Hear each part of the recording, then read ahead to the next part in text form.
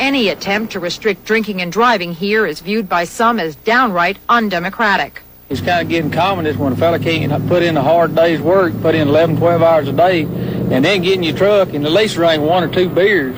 They're making it laws where you can't drink when you want to. You can't. You have to wear a seatbelt when you're driving. And pretty soon we're going to be communist country. Communist country.